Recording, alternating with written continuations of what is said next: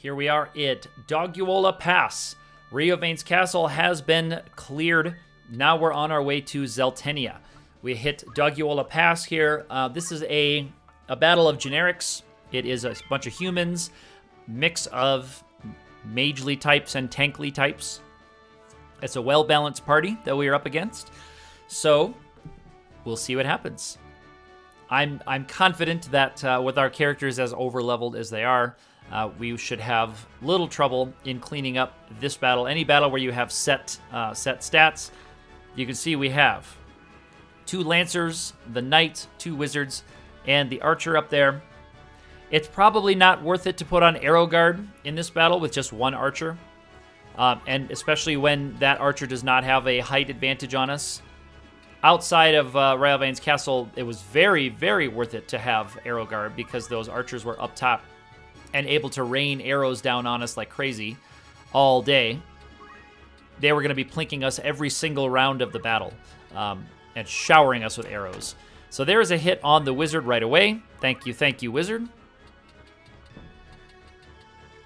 Thank you, thank you, wizard. And those are probably my biggest uh, adversaries here. Those are those are my most threatening enemies would be my wizards. And Mustadio cannot quite get to that wizard up top, but he can hit the wizard down below. And gets a crit to land. Thankfully, he gets a crit to land. Very good. And we'll see if we can take that wizard out right away. It appears that we can by my first count right there. And look at that.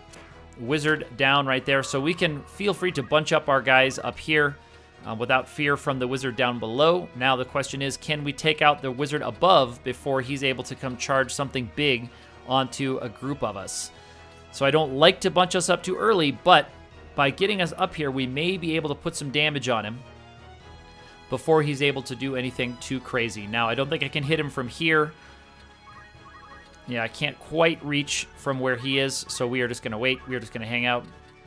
And again, I don't think I can get a character into position on him on this side. So we're going to back it up and just kind of chill here for a while. The knight not posing too much of a threat. Don't see an elemental skill on there.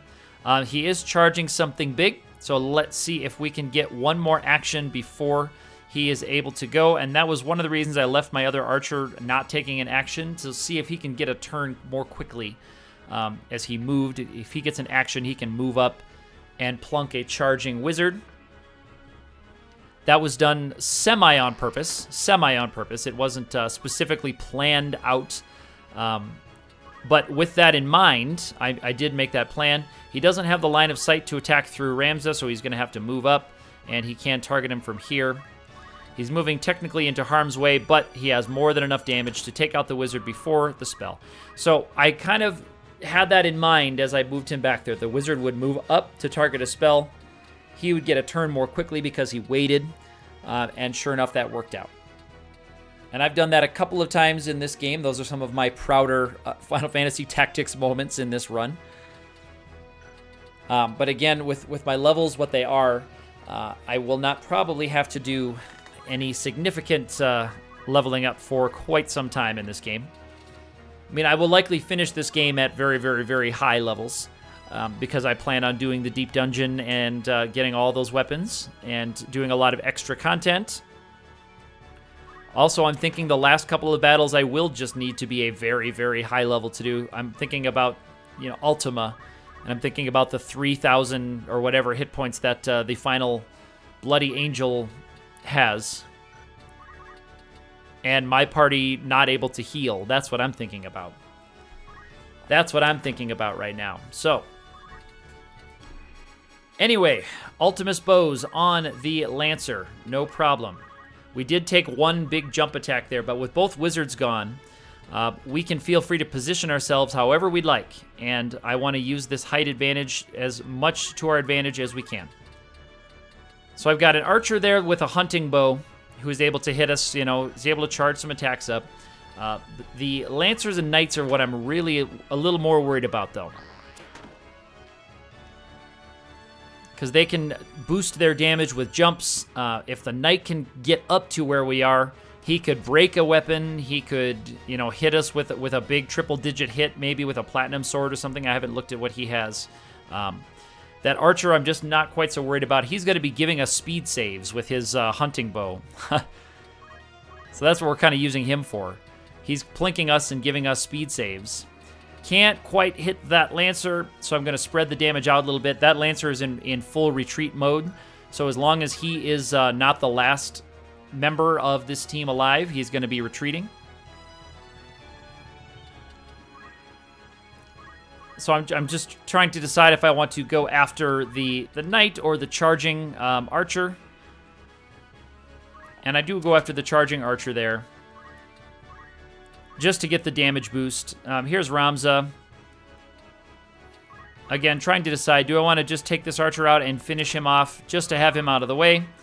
And there I do decide to do that because I, I don't see the knight as all that much of a threat. I can pop him from here and then wait so I can get my next turn more quickly. It's going to be hard for that knight to get up. They don't have the kind of jump that, uh, that, that we do. Not saying he can't get to us, but it's going to be a little bit more challenging for him. So I want to stay up high here and stay um, in range. And let's hit him with our charged attack down there.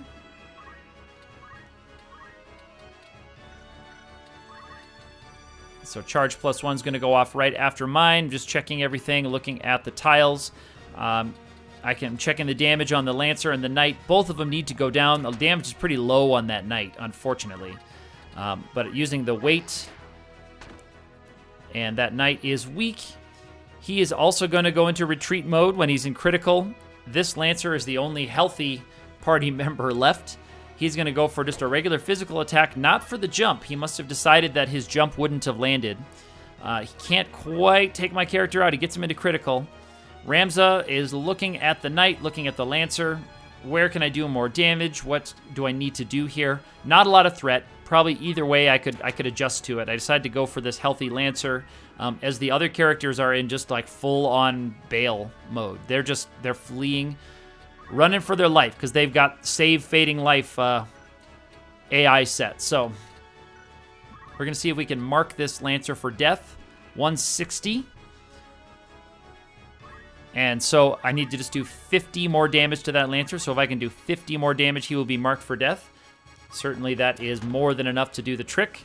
So he will die when Mustadio's turn fires, so I can safely um, go after one of these weak characters. I can go after this knight right here, and certainly enough damage to take him out. And now I can go after that Lancer. I'm going to use the height advantage to extend my range. Down he goes. Now Ramza will get a turn, and Ramza just for just for the boost in experience. Although technically, I really don't want tons more experience in hindsight. Um, I'd rather not pick up another level before the Finath River.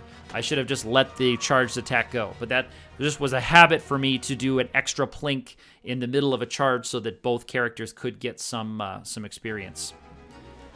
So there is Doguola Pass on our way to Zeltennia.